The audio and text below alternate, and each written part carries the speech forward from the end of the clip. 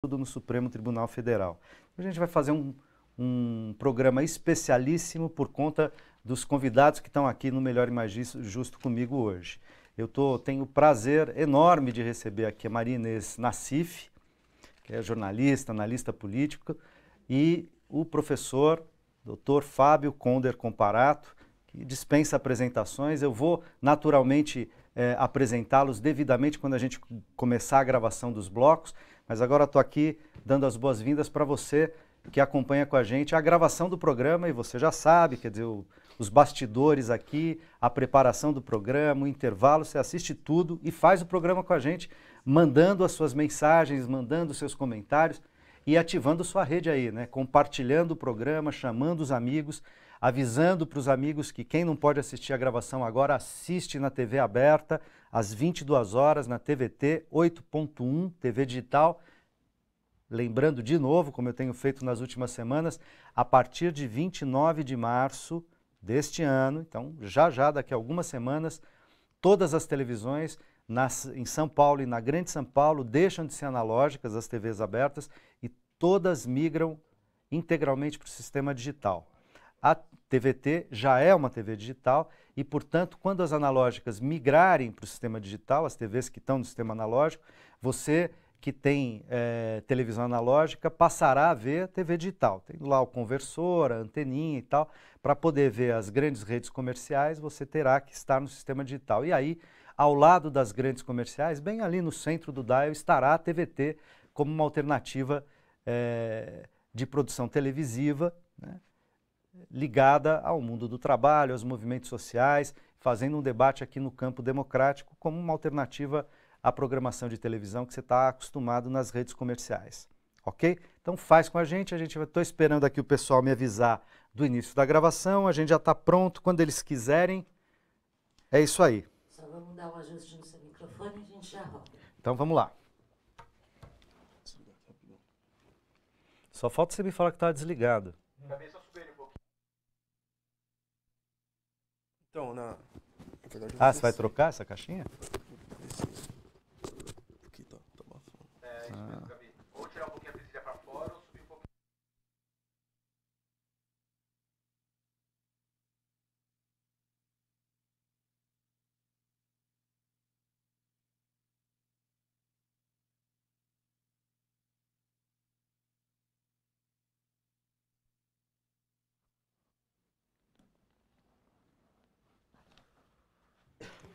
Bom, aqui alguns ajustes técnicos antes da gente começar a gravação.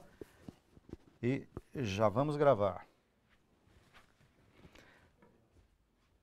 Quando quiser, Isa, nossa diretora.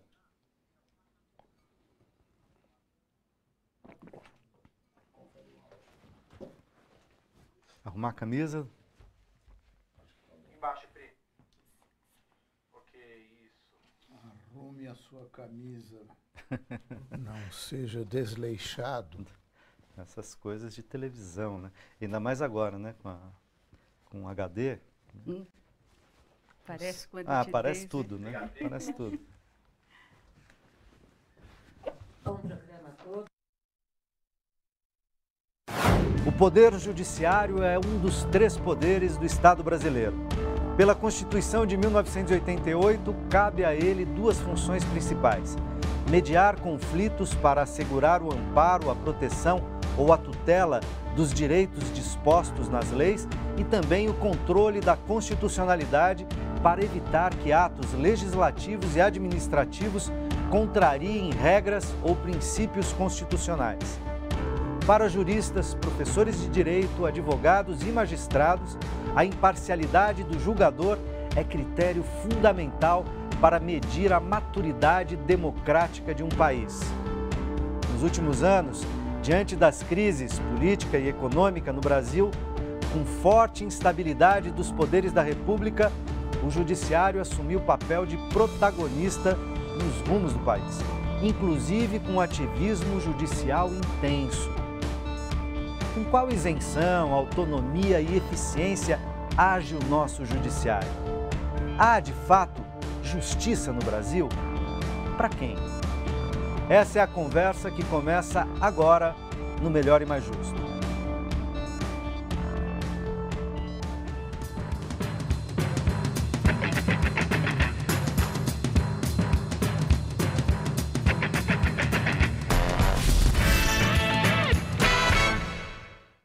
Olá, bem-vindo ao Melhor e Mais Justo. Para falar sobre esse assunto, eu tenho a honra de receber Fábio Conder Comparato, jurista, professor e escritor, e Maria Inês Nassif, jornalista e analista política. Bem-vindos. Obrigada. A World Justice, Justice Project, organização independente e multidisciplinar que trabalha para promover o Estado de Direito em todo o mundo, seu mais recente estudo oferece um quadro detalhado e abrangente do grau de adesão ao Estado de Direito em 113 países. O Brasil aparece na posição de número 52, evidenciando vários problemas em seu sistema judiciário. Quais são as dificuldades e as mazelas desse poder no Brasil? Vou começar com os mais velhos. Professor, bem-vindo novamente. Muito obrigado pela sua presença. Professor Fábio Conder. Como conceituar o poder judiciário no Brasil e como olhar para ele hoje? Para nós entendermos o poder judiciário atual no Brasil, nós precisamos ter uma visão histórica.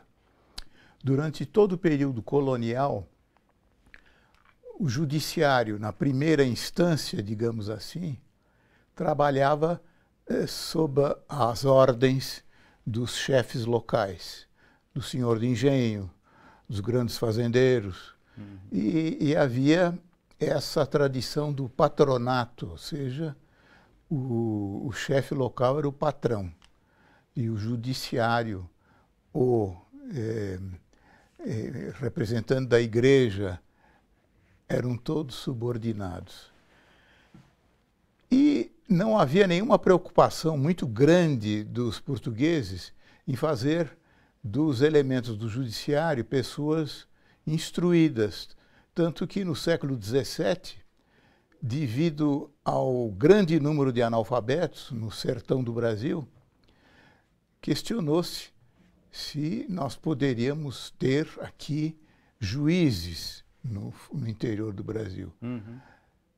E a, a, a coroa, sendo interrogada a esse respeito, respondeu: não importa que sejam analfabetos, contanto que tenham auxiliares que saibam ler. Na verdade, eles ficavam sob a direção dos grandes senhores locais. Quando entrou a República, entrou a monarquia independente, a República, esse sistema continuou fundamentalmente o mesmo. Eu ainda sou de uma época em que no interior de São Paulo o juiz local ele dependia do coronelão. Né? Do fazendeiro, né? É, exato. Bom, é, hoje qual é a situação? A situação é a seguinte: o judiciário faz parte da sociedade brasileira que é fundamentalmente dividida. Há uma minoria que comanda a economia, a política, a cultura, o, a os meios de comunicação de massa. E há uma grande maioria que não tem poder. Isso sempre existiu no Brasil. Acontece que hoje, como isto é escandaloso, para os não brasileiros, os brasileiros se acomodaram com isso perfeitamente. Como isso é escandaloso para os não brasileiros, nós criamos um sistema de duplicidade.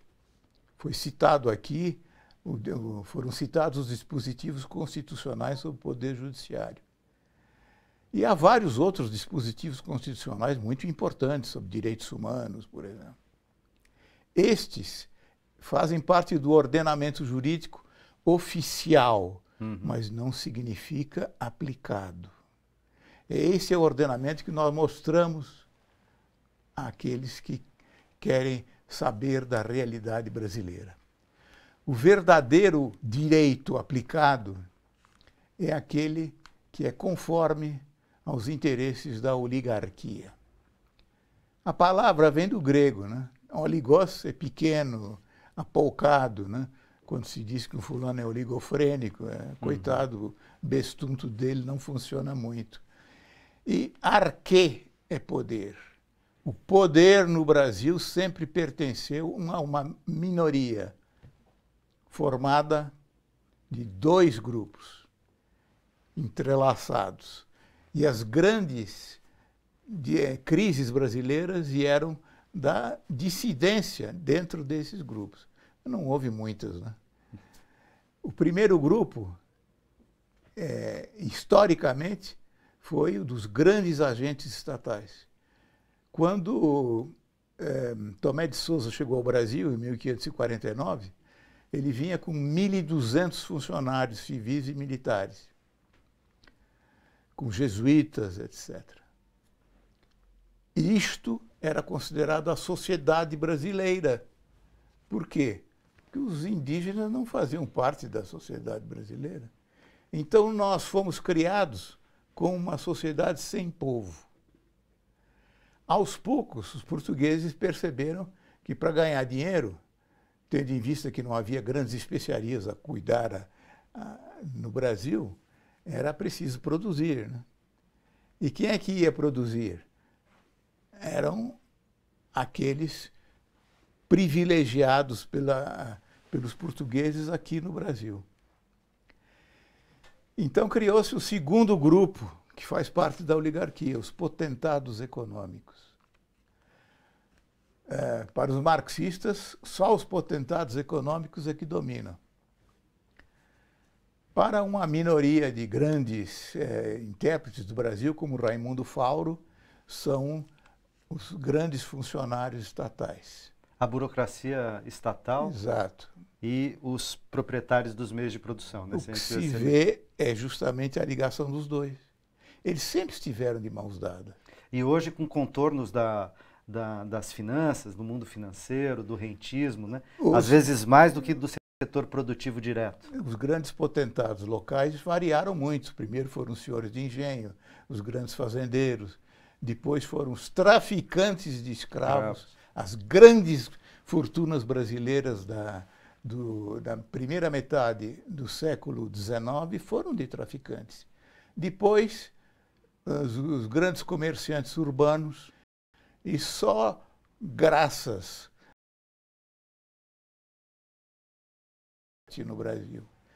E essa industrialização durou talvez meio século um pouco mais. Né?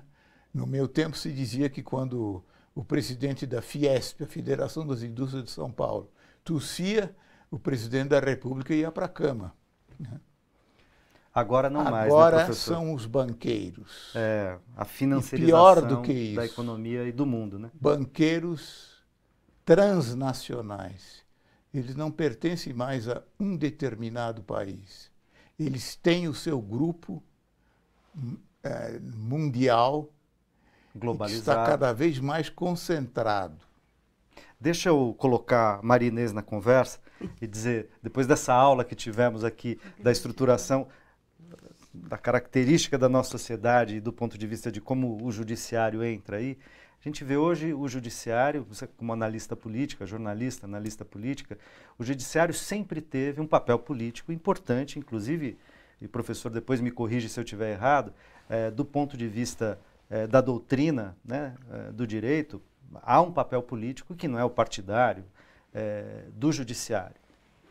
Mas há, e cada vez mais fortemente, sobretudo nos momentos de crise no Brasil, um ativismo, nesse momento, um ativismo político eh, de juízes, de órgãos do setor judiciário e, de certa maneira, diante da crise institucional e da descrença quase absoluta no governo que está aí, no governo federal que está aí e no legislativo, no Congresso Federal, eh, parece que o judiciário eh, surge como espécie de poder moderador. É ele que está dando as cartas, porque é ele, em última análise, que julga, seja na primeira instância, a questão da corrupção na Lava Jato, é ele que prende e manda soltar, é ele que define se o cara pode assumir, continuar presidente de uma casa parlamentar, como o Senado, aconteceu recentemente com Renan Calheiros, né, mandaram eh, ele sair, ele não recebeu lá o oficial de justiça, depois o pleno eh, do STF eh, remanejou e disse não, ele pode ficar desde que ele saia da linha sucessória. Enfim, a gente tem visto o judiciário agir politicamente, de certa maneira, eh, desenhar um pouco o, cenário político no Brasil. Queria que você analisasse isso do ponto Olha, de vista eu acho político que a rigor, isso aí não é uma moderação, de fato, né? Eu acho que é, por exemplo, no caso do golpe é, que, é, que depôs a, a presidente Di- Dilma pretensamente por um impeachment, é, foi fundamental a omissão do, do, do judiciário. Né? O judiciário é parte desse golpe e é, é, é assim, eu acho é, que o judici- di- judiciário ele já é, prenunciava desempenhar esse papel desde sempre.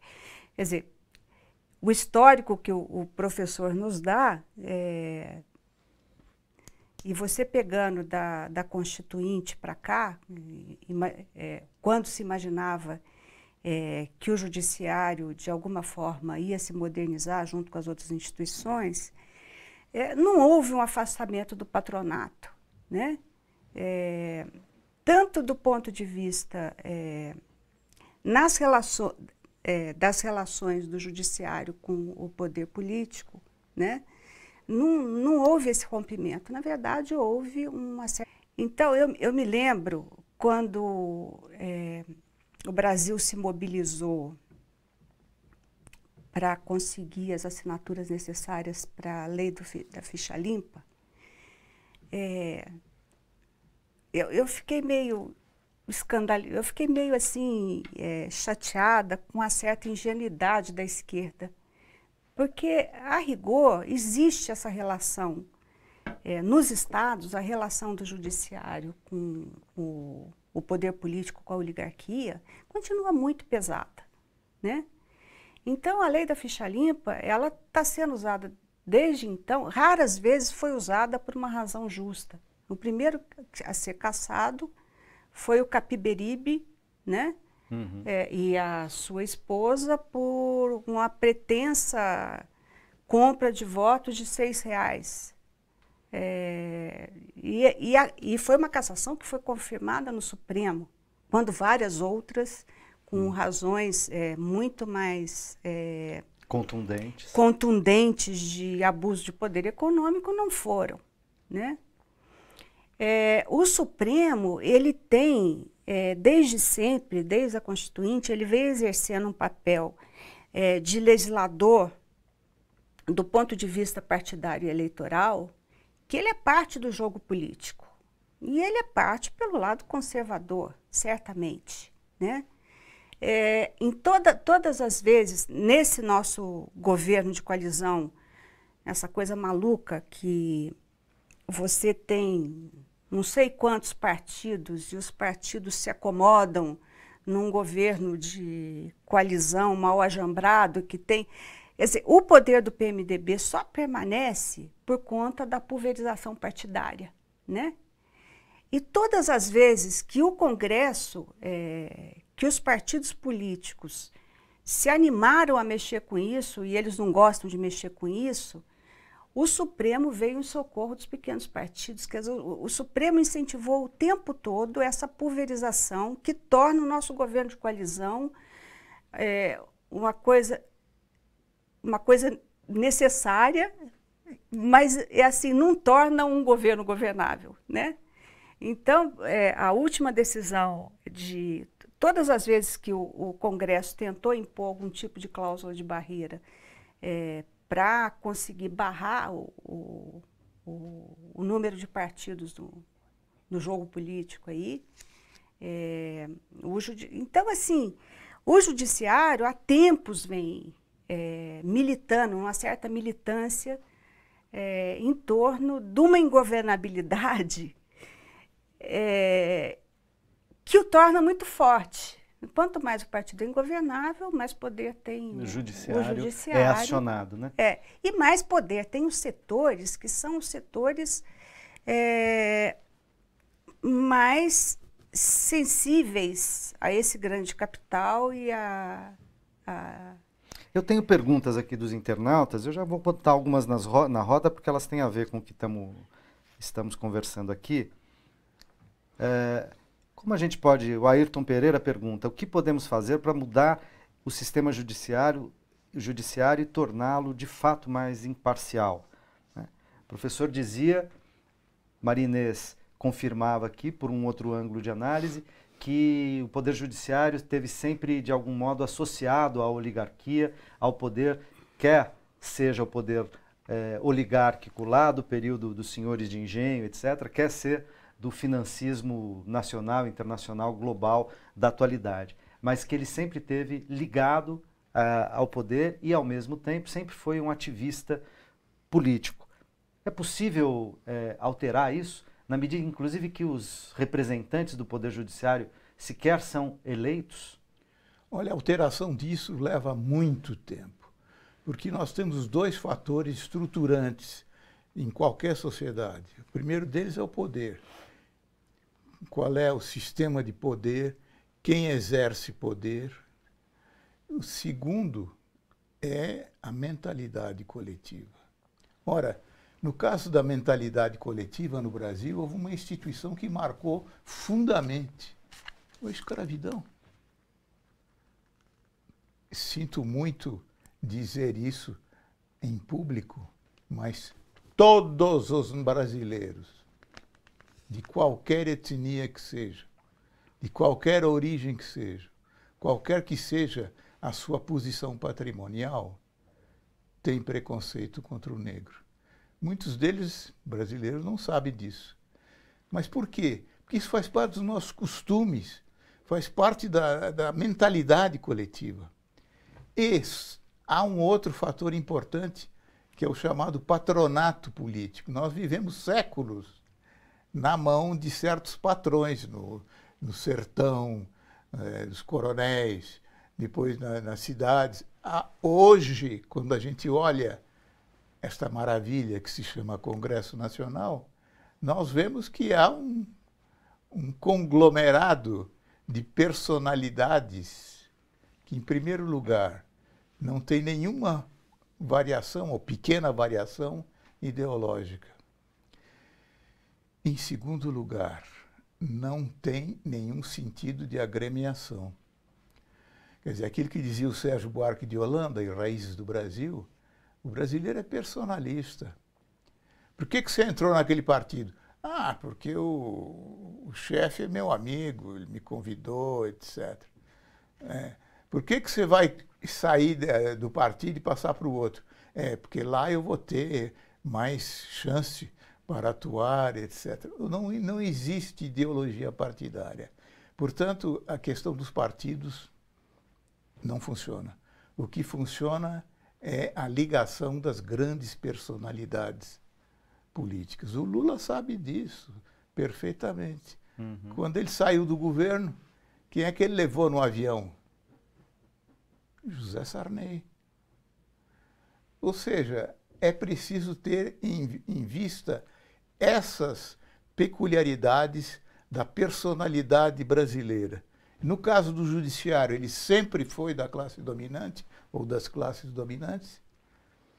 Agora, ele tinha e ainda tem prerrogativas. Ele não quer abrir mão disso. Certas prerrogativas, por exemplo, de julgar em última instância, etc. Mas tem também privilégios, privilégios de grupo. Por exemplo, um magistrado o mínimo que ele ganha é em torno de 30 mil em qualquer estado brasileiro. Mas, além disso, ele tem auxílio moradia. Mesmo quando ele exerce as suas atribuições judiciárias no local onde ele mora, onde ele tem casa, etc. Ele, ah, ele tem auxílio educação para os filhos é, ele tem complemento de pensão, no caso de saúde, etc.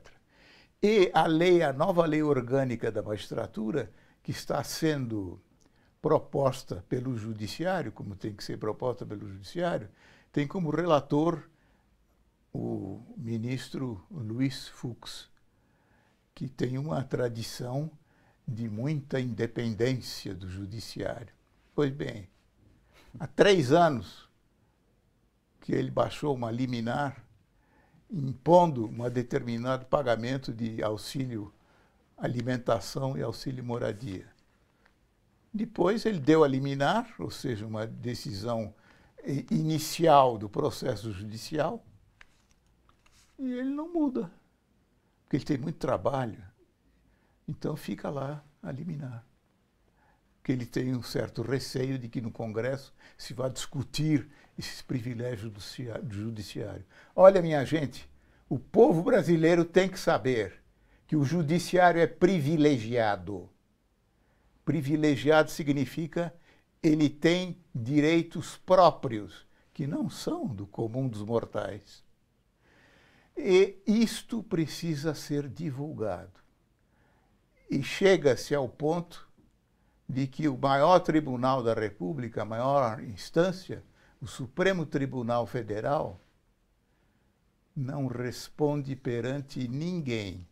Talvez responda perante o, o Senhor Todo-Poderoso. Mas foi criado, por exemplo, o Conselho Nacional, Nacional. de Justiça. Quando foi proposta a criação do Conselho, todas as a Associação Brasileira de Magistrados e outras protestaram e fi- fizeram todo um, um- um trabalho contra. Certo? Bom, foi criado. Aconteceu que, num determinado momento, alguém ingênuo, como o doutor Fábio Conder Comparato, resolveu pôr o Supremo Tribunal Federal, um dos ministros, sob a jurisdição do Conselho Nacional de Justiça. O Conselho Nacional de Justiça não cuida de todos os magistrados? Ah. Eles deram uma risada e finalmente saiu o acórdão deles. Nem o Supremo Tribunal Federal, nem nenhum dos seus ministros está sujeito à jurisdição do Conselho Nacional de Justiça. Então, quem é que os julga? A consciência de cada um deles. E como todos sabem, essa consciência tem sido, para empregar uma, uma palavra adequada, razoavelmente limpa. Né? A gente está falando disso como uma distorção, o senhor aponta isso como uma distorção importante, sobretudo num regime que se quer democrático. A gente está vendo que a nossa democracia sofreu abalos importantes, há muitos jornalistas, estudiosos, enfim, que falam inclusive que a nossa eh, democracia está suspensa, que a gente não vive efetivamente sobre um regime democrático no momento, mas ainda que a gente tenha uma construção democrática muito recente, de 88 para cá, com muitas imperfeições, como dizem os movimentos populares, os movimentos das periferias, a democracia sequer tinha chegado às periferias e tal, mas considerando que, pelo menos do ponto de vista formal institucional, a gente tem um regime democrático, né? Apesar de suas imperfeições, a gente vê distorções dessa natureza. E a gente vê outras. Né? Então, por exemplo, a gente tem hoje no Brasil um juiz de primeira instância, que é o juiz Sérgio Moro, que é, é o único juiz de primeira instância que se tem notícia que pode viver durante anos de um único processo. Que pode julgar um único processo, ser exclusivo de um único processo e ter poder eventualmente equiparado, né, é, ou inclusive apoiado pelo Supremo Tribunal Federal. Esse tipo de, de distorção, é, naturalmente, se articula com o poder político do judiciário ao qual você fazia referência. né? Agora, esse poder político, esse ativismo político, ele não veio do nada. Né? Ele veio de uma série de interesses. A gente vê interesses de grupos midiáticos, de grupos financeiros, como disse o professor, de certos grupos políticos que tinham que estavam contrariados, talvez por terem perdido várias eleições consecutivas e tal. Quer dizer, o que abriu espaço para que essas distorções já mencionadas do nosso sistema judiciário pudessem eh, ter se radicalizado e ter se evidenciado tão fortemente. O que, do ponto de vista político, construiu, digamos, essa, esse absurdo. Olha, eu acho que é um movimento político muito claro, né? É, eu acho assim que a prova de que o PT foi um partido que se diferenciou é, dos demais, que de alguma forma ameaçou esse sistema patriarcal, é, foi essa articulação que, na verdade, vem desde o mensalão, né? Eu acho que o Moro não existiria é, sem um, um é, Sem uma concertação de interesses ali. não, se o mensalão não tivesse existido, Ah, né? O mensalão já foi um ponto fora da curva do ponto de vista jurídico. Quer dizer, quem sou eu para falar isso? O doutor Fábio vai falar muito. Mas, assim, do ponto de vista político, é, a- as arbitrariedades que se cometeram, é, que foram cometidas pelo Supremo no mensalão, é, justificou a. a- é, o Moro, o Moro não, não. A Lava Jato não existiria se não fosse isso. Né? A quantidade de, é, de erros jurídicos crassos que se, que, que se comete, a bem da verdade. As formas de coação, que eu acho que são similares a uma tortura psicológica, você deixar a pessoa presa sem nenhuma culpa formada, é, você prender sem ter nenhuma prova, condenar sem provas. Isso aí, é, na verdade, foi uma, uma licença que foi dada pelo Supremo e que foi tolerada pelo Supremo ao longo do tempo. Né? Se o Supremo hoje fala contra isso, é porque eu acho que já deu como encerrada um, encerrado um projeto político é, que, é, que terminou com o impeachment. Né? Hoje você não vê grandes interesses em, em continuar essas, é, esse, esse jogo jurídico onde você condena qualquer um do jeito que você quer. É, você pode ser indiciado porque olhou feio pro, ou porque alguém te delatou que você tem culpa, sem, sem provar isso. Né? Mas, assim, o complô é uma coisa tão clara e o judiciário fazer parte desse complô, para mim, é uma coisa tão evidente, né? É... É... Deixa, eu- deixa, eu, deixa eu aproveitar aqui isso que você está dizendo. É. Eu sei, tem uma pergunta dos, dos nossos internautas aqui.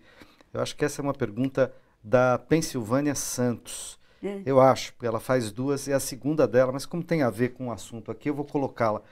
É, Fábio e Maria Inês, como vocês avaliam a recente entrevista do general Eduardo Dias Vilas Boas, quando ele disse que o Brasil é um país à deriva? A crise institucional brasileira, capitaneada por, por um processo de impeachment sem crime de responsabilidade, é, que provavelmente já vem sendo urdida desde o mensalão ou antes dele para tentar desestabelecer, é, desestabilizar um governo popular, ou governos populares no Brasil, que vinham impondo derrotas eleitorais a- aos partidos da chamada direita, do centro e da direita no Brasil. É, o Brasil, de fato, está à deriva no meio dessa crise institucional, política e econômica? Ele está à deriva na parte econômica. O Brasil está perdendo mais nitidamente o seu poder econômico no plano internacional. E, e mesmo é, é um fato inédito na história do Brasil, isto, a queda da produção nacional, hoje, não teve paralelo nem na, depois da, do craque da Bolsa de Nova York. E isto porque hoje, cada vez mais, a economia é globalizada. E essa globalização é, sobretudo, financeira. Eh, o que acontece é que eh, o, o nosso país não se preparou para isso.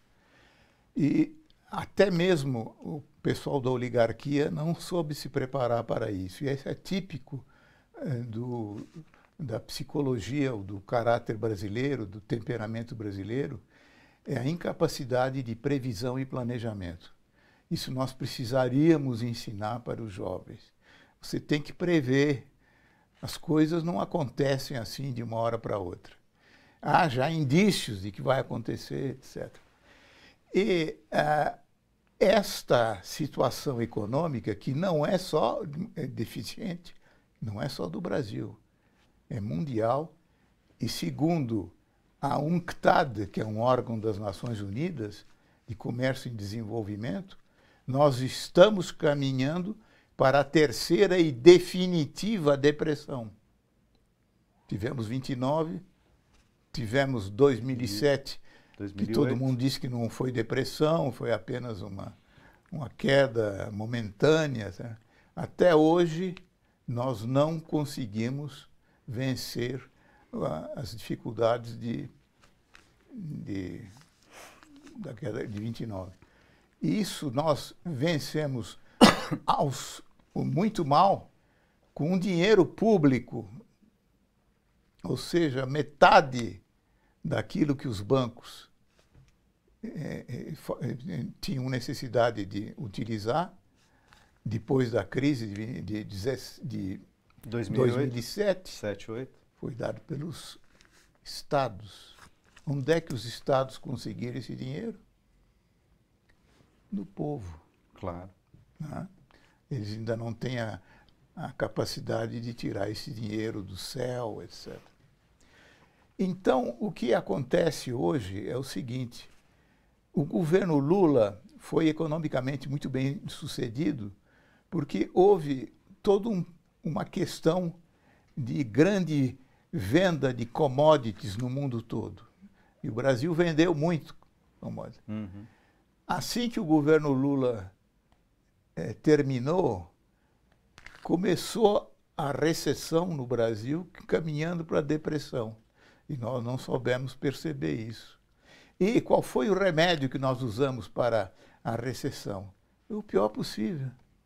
Quer dizer, é preciso que o, o governo gaste menos e, sobretudo, que ele só gaste para aquilo que interessa. O que, que interessa? Pagamento de juros, hoje é isso, né? Principalmente. Então, o- o- quando se diz que é preciso reduzir as despesas em educação e saúde, isto representa um crime. Eu tenho certeza absoluta de que daqui a alguns anos isso entrará como crime contra a humanidade. É, inclusive a gente vai na contracorrente de países é, capitalistas, de, de países com governos, digamos, conservadores e tal, que fizeram uma intervenção forte do Estado. Os Estados Unidos é um exemplo típico, chegou a, a estatizar empresas como a General Motors em 2008 e depois devolvê-la à iniciativa privada para justamente evitar a quebradeira de empresas, de bancos, socorrer os bancos e tal. No Brasil, a gente vê nos últimos dois anos, sobretudo, uma situação totalmente ao contrário disso. Né? A gente vê a nossa justiça, eh, em nome de, de combater a corrupção, na verdade, eh, destruindo todo um parque industrial no campo do petróleo no campo da construção civil. Toda uma expertise de engenharia e de tecnologia construída ao longo dos últimos 30 anos, pelo menos, indo com a, com a água, o bebê com a água do banho. Né? Quer dizer, nada contra se punir adequadamente as pessoas que cometem corrupção, mas não é possível confundir pessoas com empresas e com patrimônios públicos. É isso que a gente tem assistido no Brasil hoje. E antigamente não havia corrupção? É, sempre houve, né? Eu preciso fazer um intervalo, porque a gente já estourou de muito tempo e a gente já volta.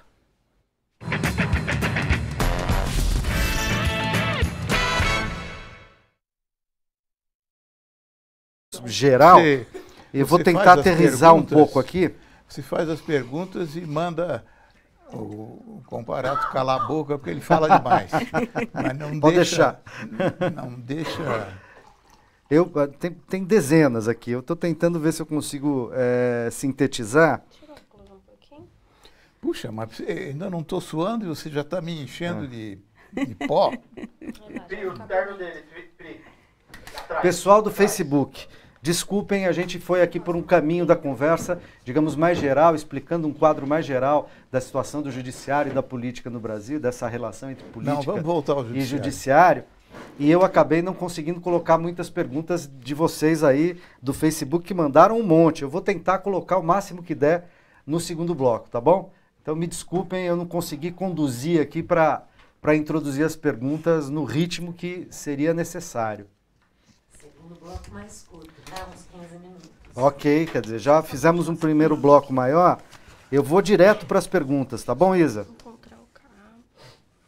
Pode ir? E vou pedir para que os nossos convidados, tanto quanto possível, tentem ser breves nessas respostas para dar tempo da gente responder o máximo de questões possíveis aqui. E olhe para mim. O máximo possível. Olha, eu tô olhando, tô olhando para o senhor. Bom, podemos voltar quando vocês quiserem.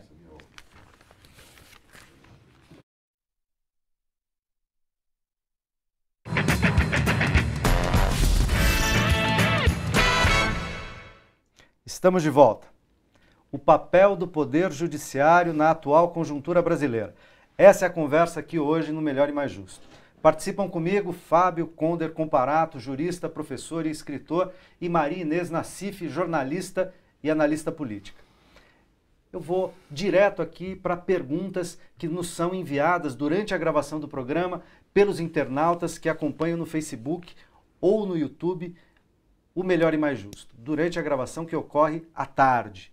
Eles fazem uma série de perguntas para os nossos convidados de hoje e eu vou colocá-las e pedir aqui um certo bate-bola rápido, tentar para que os nossos convidados respondam o mais rapidamente possível para a gente poder é, trazer as perguntas, as indagações que as pessoas que estão fazendo debate nas ruas, nas universidades, nas corporações profissionais, nas redes sociais, tão, é, têm sobre as questões do judiciário hoje no Brasil.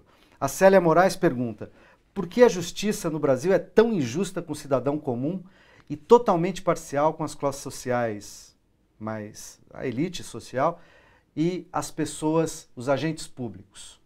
Porque essa é a tradição. Vencer essa tradição demanda tempo. E é preciso, sobretudo, mudar a cabeça das pessoas, o que não acontece em pouco tempo. Ok. E para você ter uma ideia, para dar um exemplo é, sobre Para isso, Célia, o- houve um desembargador do Tribunal de Justiça que resolveu absolver os 73 policiais que participaram do grupo que matou em 20 minutos 111 detentos do Carandiru.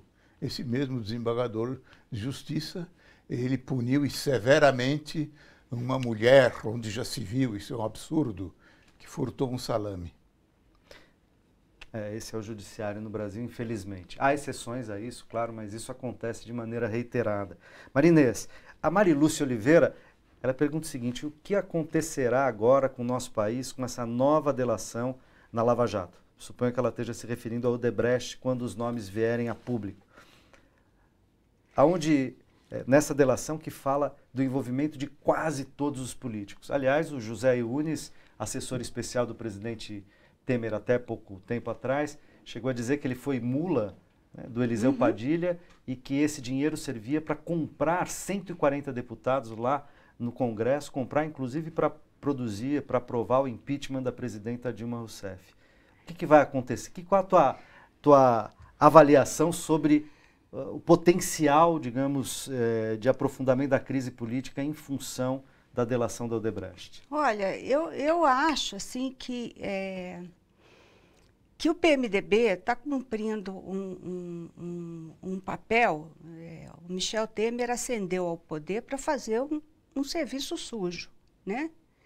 Esse serviço sujo é essa- esse desmantelamento aí que ele está fazendo da, é, de toda a. Ele está tentando, pelo menos, de toda a o- os direitos sociais, ele está colocando em questão os direitos sociais. Esse, Trabalhistas. esse absurdo do, do, eh, dessa emenda aprovada eh, por inspiração aí do exigência do ministro da Fazenda, que praticamente obriga PEC 55, né? qualquer um que seja eleito a ter o mesmo programa de governo, né? É, então, assim, ele está pagando a, a, a, Aos financiadores. a, do- liber, a, a liberdade, inclusive, a liberdade dele e do grupo do PMDB que está envolvido até o pescoço na Lava Jato, que não dá para esconder, o Moro não conseguiu, né? É, com um serviço. Agora, ele é descartável.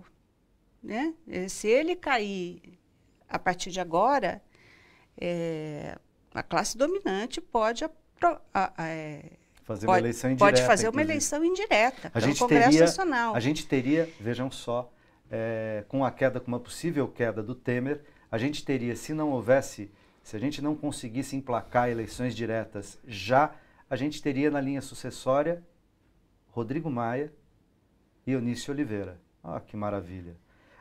Professor Fábio, Marcelo Lima pergunta o seguinte: o futuro democrático do país está comprometido? Eu diria o Brasil nunca teve passado democrático. Portanto, é preciso pensar muito Em construir o futuro. em né? construir não- o futuro. Ele não o está que, que comprometido é porque ainda não finalmente foi. democracia? É poder ao povo. E o povo, Demos na verdade, é nunca povo, esteve no poder. Kratos é poder. O povo brasileiro nunca teve poder político. Você dirá, mas a gente não vota em eleições? Sim, vota em eleições. E essas eleições, como todos percebem, são capazes de mudar de alto a baixo o país, né?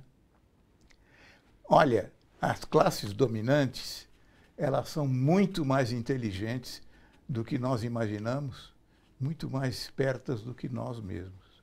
É, enquanto foi conveniente, ela permitiu um governo popular, né? governos populares, e que trouxeram é, melhorias efetivas na distribuição de renda, é, nos direitos sociais, na participação social, mas que, na verdade, exerceu o governo, né? nunca disputou o poder de Estado no Brasil. Sim. E assim que aquilo se tornou suficiente amea- suficientemente ameaçador, foi- é, a descontinuidade dos governos populares eleitos foi feito com uma velocidade e com uma facilidade inacreditável. Né? O, Bom, essa facilidade inacreditável veio da influência norte-americana. Depois nós vamos falar sobre isso. Ah, tá bom. A Pensilvânia Santos, de quem eu já fiz uma pergunta aqui, ela declara a admiração aos entrevistados, então Maria Inês e professor Fábio, e ela diz: a crise é total na justiça, por que o judiciário não é mais confiável? Acho que isso já está respondido, né, Maria Inês? O professor Fábio explicou, inclusive historicamente, como que o nosso judiciário está estruturado. Se pergunta, algum dia ele foi? Não, não foi, né? Nos termos em que disse o professor Fábio Conder aqui. É, a Mariluce Oliveira pergunta o que a população pode fazer para reverter essa crise política que estamos vivendo. Marinês. Olha, eu acho que a gente tem o direito de gritar. Não muito. É, é o seguinte, eu acho que houve sempre uma confusão é, da- da- das esquerdas, dos setores é, democráticos, inclusive, entre ganhar eleições e ter a hegemonia, né? Nós precisamos nos convencer que para ter hegemonia a gente precisa muito mais do que ganhar eleições. A gente precisa estar preocupado por uma guerra eh, onde as instituições também sejam capturadas por nossos interesses, né? Não adianta a gente eleger um, um presidente e ter um supremo eh, que um supremo ou um legislativo que nos tira eh, eh, nos tira o direito de voto. É, e na adianta- verdade foram suprimido o meu voto, É. o voto de várias pessoas, da Milhões maioria de pessoas. de né? milhões de pessoas, né, da maioria E absoluta. incrível do- que não adianta eleger um presidente, quando o presidente que se elege, para conseguir fazer um bom governo, como houve bons governos, o presidente Lula, presidenta Dilma, o primeiro governo da presidenta Dilma, é, tendo que fazer um conjunto de conciliações e de concessões né, para o status quo e para as coisas, para as estruturas, tal como ela- elas estão postas no Brasil. Marinê já, tinha, já fez referência aqui a essa é, impossibilidade de, de, governan, de governança e de governo sem uma coalizão, às vezes com as forças mais contrárias àquelas que ganharam a eleição. Então a gente tem aqui um conjunto de distorções que acho que a mobilização popular, que a gente gritar, que a gente refletir, que a gente debater essas coisas, é que talvez no tempo eu possa. gostaria de rapidamente concluir Por favor, aí, por favor. E eu acho que a outra coisa que é fundamental é, para a população é entender é, o papel do voto no poder legislativo. No poder- isso é isso está colocado para a gente. Nós tivemos um golpe, nós não podemos, é, talvez, alterar o, o judiciário em curto espaço de tempo, mas a gente tem o poder de dar outro perfil ao nosso legislativo com o nosso voto. Né? A gente nunca Só deu muita importância, né, Não. à eleição legislativa. E os a partidos né? políticos que estão é, é, que, estão em disputa, eles abrem mão desse poder para fazer coligações proporcionais, que é a coisa mais absurda que eu já vi é, em, termos de legislação eleitoral, Eleitoral. e partidária. Né? A Mari Halley, acho que é assim que pronuncia, Mari Halley Dias Santos, ela pergunta, não seria necessário uma reforma no conceito de pesos e contrapesos, de forma a retirar o papel do poder moderador, entre aspas, ela coloca a expressão, do judiciário e equilibrar as forças entre os poderes, atribuindo maior papel à participação popular nesse balanceamento, para democratizar de fato as relações de poder? Pergunta complexa, mas é possível responder rápido, Sim, professor? é possível responder rápido. O, o Poder Judiciário não tem o po- contrapoder que deveria ter, sem dúvida. E eu já disse que o, o Supremo Tribunal Federal ele não está submetido a ninguém e a nenhuma regra. Agora, o que acontece é que eh, se nós insistirmos, por exemplo, em plebiscito e referendo, é preciso levar em conta duas coisas. Em primeiro lugar, o fato de que a- a- as oligarquias não vão aceitar de forma alguma um verdadeiro poder eh, eh, Popular. popular. Não vão E- aceitar perder privilégio. Né? Pois é. Em segundo lugar, lembrem-se, o povo precisa ser educado. Se houver grande força de plebiscito e referendo, e se, por exemplo, houver um crime hediondo e alguém, um determinado deputado chamado Bolsonaro, propuser uma pena de morte, vocês acham que o povo não vai votar a favor? Quer dizer, você está falando inclusive de uma alienação produzida, entre outras, pelas, pela Então- cultura, pelos costumes, pela É, mídia. então, concluindo, a mudança de um país, mesmo como o Brasil está, é possível, mas ela precisa, em primeiro lugar, de um plano. Em segundo lugar, de gente que se organize só para executar o plano, não para ser eleita. Uhum. Em terceiro lugar, educação popular, educação política, nas periferias, nos bairros pobres. Isso é perfeitamente possível. Então, isso é possível, provavelmente, inclusive, como iniciativa da, da própria sociedade civil. Né? Enquanto a gente não tem um governo de fato democrático comprometido com isso, é a mobilização da sociedade que pode gerar esse debate e algum grau de educação política que, que o professor Fábio Conder está reivindicando. Marinês, vou colocar duas perguntas que estão relacionadas aqui com o teu campo, campo do jornalismo e da análise política, e vou pedir para você tentar ser breve aqui na resposta, que o nosso tempo está acabando. É... Uma é do Douglas Tucker. Ele diz: o que estamos no âmbito internacional, o que estamos perdendo com essa conjuntura política e qual país está ganhando com tudo isso? Tem um país que ganha, que está apostando na crise no Brasil? Um ou mais de um? Essa é uma pergunta. E a outra, Eliana Risk, ela pergunta: os entrevistados acreditam que a falta de informações fidedignas que não chegam a toda a sociedade seria alternativa para alguma mudança? Como nós, sociedade, podemos iniciar a mudança dessa situação insustentável? Está dizendo, a gente não recebe informações fidedignas. É possível fazer, relação, fazer algo em relação a isso?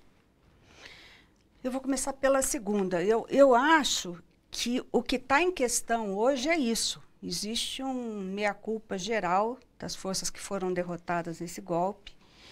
É, e, e de que a, a, é o seguinte, não houve uma atenção devida ao fato de que a gente não tem uma informação fidedigna, né?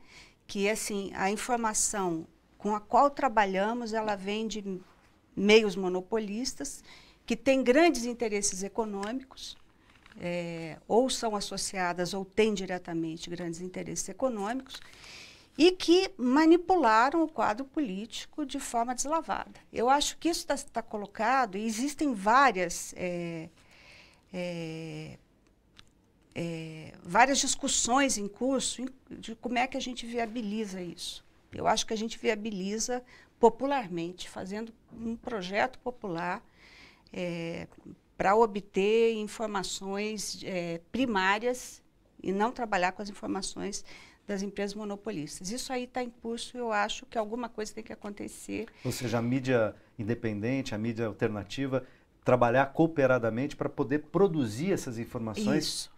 E não E- ter que trabalhar de forma- requentando as informações produzidas pelas grandes agências. Isso, né? e de forma que seja financiar, é, de forma financiada mesmo para a gente conseguir o mesmo nível de qualidade e de, é, e de penetração do- dos meios tradicionais. E a gente, no, no período democrático eh, que tivemos, quer dizer, lá desde 88, dos governos democráticos, mais à direita, menos à direita, mais progressistas, menos, sem entrar nesse mérito, nenhum deles abraçou a questão de produzir, por exemplo, uma comunicação pública de fato pública. Não estou nem discutindo seu caráter estatal, mas público, aberto à diversidade. Né? Ninguém fortaleceu uma televisão pública, por exemplo, uma comunicação pública, e ninguém enfrentou o oligopólio das mídias, que, como a gente já viu eh, no período da ditadura militar, eh, donos de grandes empresas de comunicação dizendo que eles colocavam e tiravam presidentes da República quando quisessem. Quer dizer, tem uma situação tão absolutamente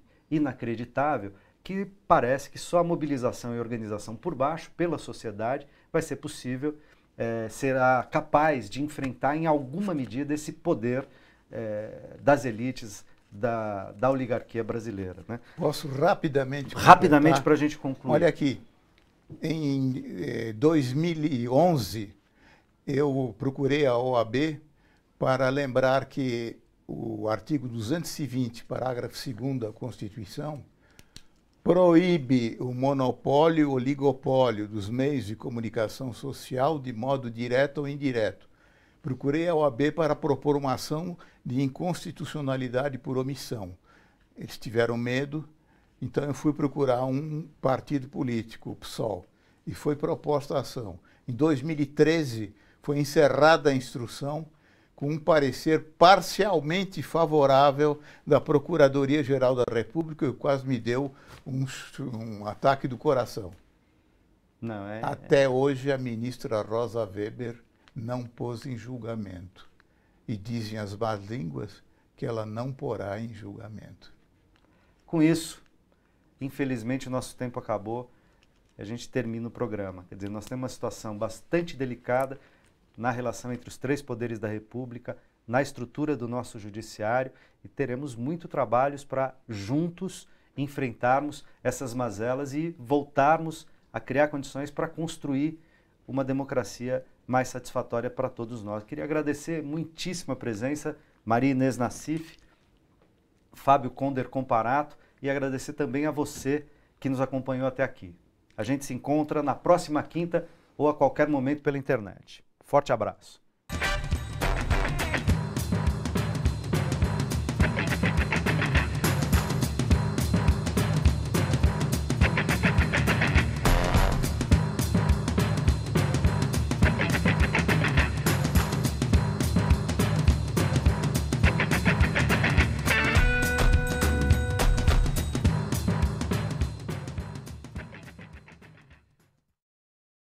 Oi, pessoal do Facebook. Eu acho que eu consegui colocar quase todas. Faltaram uma ou duas perguntas aqui daquelas que vocês mandaram. Muito obrigado de novo.